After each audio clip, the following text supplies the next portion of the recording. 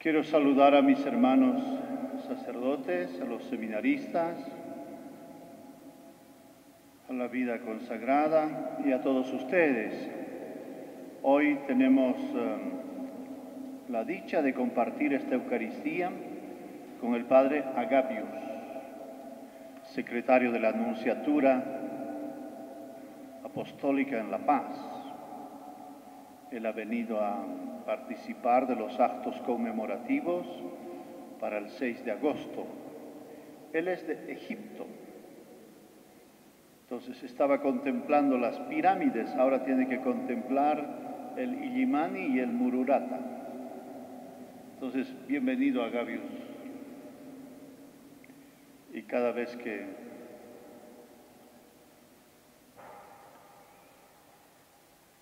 tenga la posibilidad que se venga nomás a Sucre.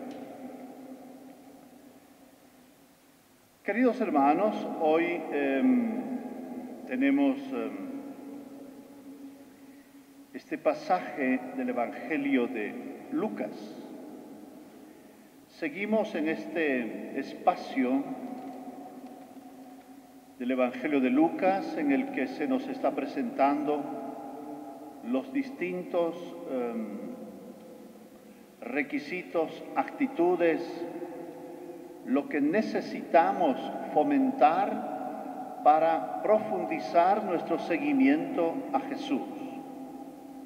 Podríamos decir también las condiciones.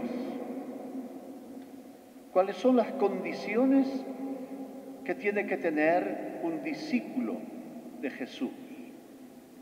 Y hoy nos habla sobre el temor.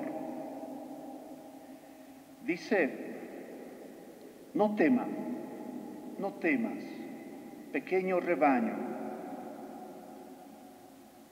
porque el Padre de ustedes ha querido darles el reino.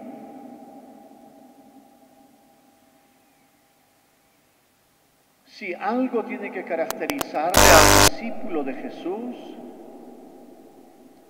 es el amor. Y lo contrario del amor es el temor.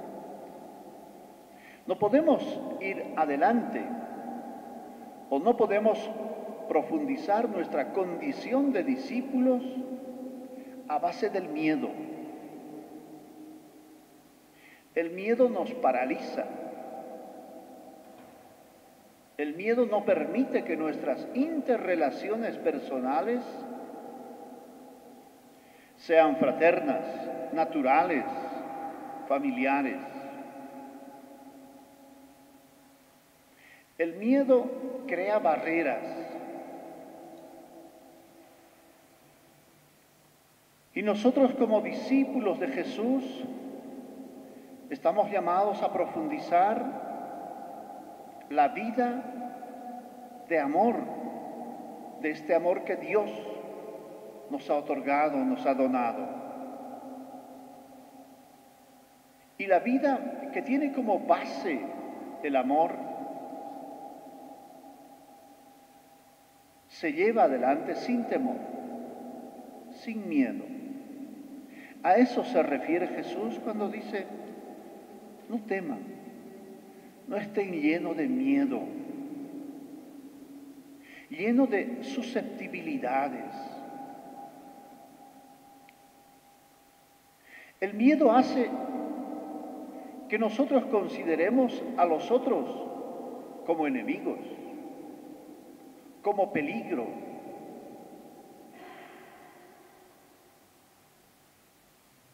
Si estamos llenos de miedo, tenemos que andar cuidándonos a cada paso, como si los otros constantemente tendrían que atacarnos. Y la vida no es así. La vida de un seguidor de Jesús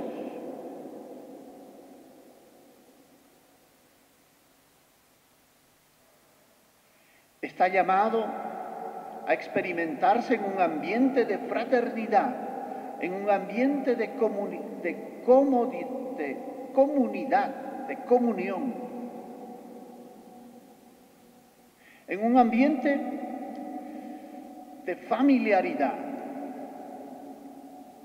Este es el desafío que tenemos. Tenemos que sembrar amor. Tenemos que sembrar fraternidad. Para que seamos capaces de caminar juntos en un ambiente de respeto, por supuesto. Pero no como enemigos, no enfrentados. Entonces, esta es una de las condiciones para el discípulo de Jesús, para nosotros. Más adelante Jesús dice, donde está tu tesoro, ahí está tu corazón. Tratemos de descubrir que nuestro tesoro es Dios, que nuestro tesoro es el reino, para que al interior de nosotros, en toda circunstancia, exista siempre amor, paz, libertad, justicia, si estamos llenos del amor de Dios, si estamos llenos de la verdad de Dios, de la paz de Jesús, no hay miedo.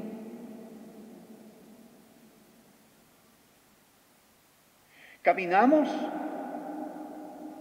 sin temor, superando cada adversidad, vigilantes con responsabilidad pero caminamos, avanzamos. El temor nos paraliza. Entonces, creo que la palabra de Dios en este, en este domingo nos invita a avanzar en la vida, pero apoyados en Dios, que es nuestro tesoro en su proyecto, en el reino, que es nuestro tesoro. Descubramos este tesoro para que de verdad todas nuestras motivaciones, nuestros intereses, estén apoyados en la vida de Dios. Por eso dice Jesús, donde está tu tesoro, allí está tu corazón.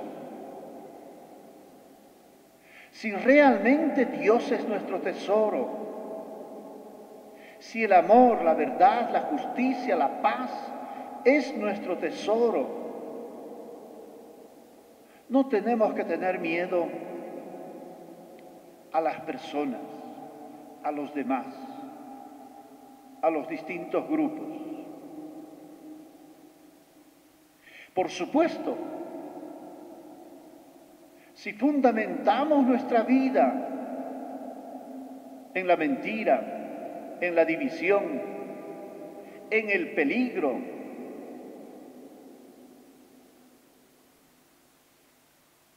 entonces sí, no podremos fomentar un ambiente de cercanía, de familiaridad, de interrelación personal cercana y fraterna.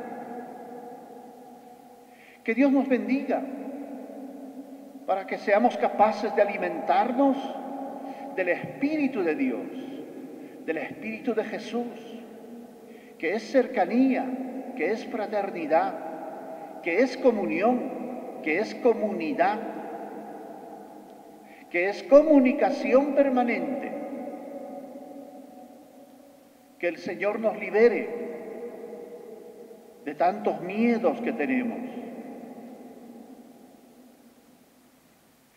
Que el Señor nos libere de este espíritu de enfrentamiento por falta de escucha. Ojalá que nuestro país se fomente cada vez más este ambiente de encuentro. Como el Papa Francisco nos dice, fomentemos la cultura del encuentro, del diálogo, de la cercanía, sincera, respetuosa, de manera que no tengamos estos signos de protesta que no nos hacen nada bien. La semana pasada hemos tenido muchos bloqueos en el país. Mañana Santa Cruz tiene 48 horas de paro. Eso denota que no avanzamos en el diálogo, no avanzamos en crear espacios de acercamiento fraterno, sin temor. Somos bolivianos y podemos encontrarnos sin miedo. Somos distintos, pero llamados por estar en este país a caminar juntos. Que el Señor nos bendiga con su espíritu y ojalá aparezcan más signos fuertes, consolidados, de cercanía fraterna, de diálogo respetuoso, constructivo de una sociedad mucho más fraterna y solidaria. Así sea. Les invito a que juntos podamos